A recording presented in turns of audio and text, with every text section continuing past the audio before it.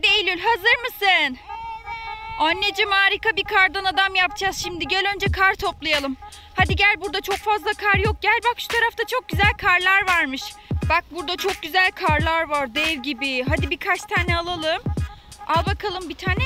Bak burada varmış bir tane. Hadi bu karı al bakalım. Evet hadi götürelim şimdi kardan adamın üstüne koyalım tamam mı? Hadi bakalım üstüne koymaya çalışacağız kardan adamın. Hadi koy bakalım. Aa, iyi de bu kardan adama benzemedi ki Eylül. Anne biz karda adam yapalım. Anneciğim evet kardan adam yapamadık baksana. Küçücük oldu ya kafası.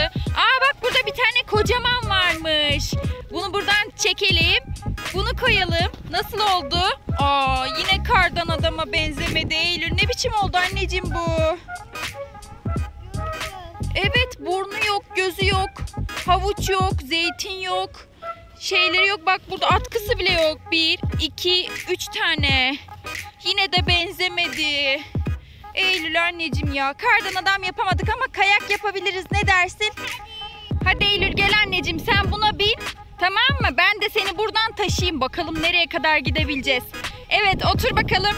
Ve gidiyoruz. Hadi götürebilecek miyim acaba Eylül'ü? Hadi Eylül sıkı tutun kaymaya gidiyoruz tamam mı? Hadi Eylül hazır mısın? Bak arkada da Poyraz'la baba çıkıyor. Hadi kay bakalım gel. Yavaş ol tamam mı? Bravo.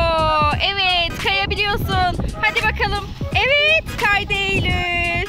Kendin durabiliyorsun değil mi? Hadi bir daha kayalım mı? Eğlenceli mi? Hadi bir daha kayalım çıkalım tepeye tırmanalım bu sefer beraber kayalım tamam mı?